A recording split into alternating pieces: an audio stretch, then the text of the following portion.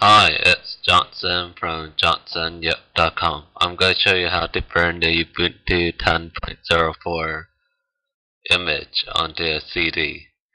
You first click Write Image File to Disk and you wait. Then you select your source by clicking the button with the glass on it, magnify glass, and then you wait. So you pick your burner and you could pick to verify or not. So you could pick your speed. I'm gonna pick one time and then you click the button over with the green arrow and it's gonna take a while so I'm gonna pause the, the video for a second a few minutes okay it's done and it took about 20 minutes or so yeah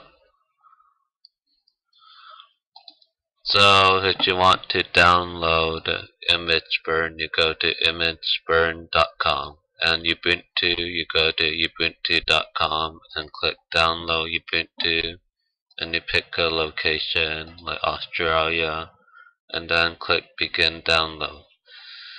This is how the Ubuntu CD looks like.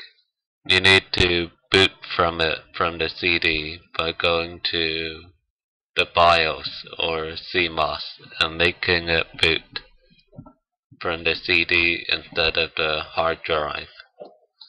So yeah, visit my thanks for wa watching and visit my website at johnsonyip.com for more computer help for Windows, Linux, and IT.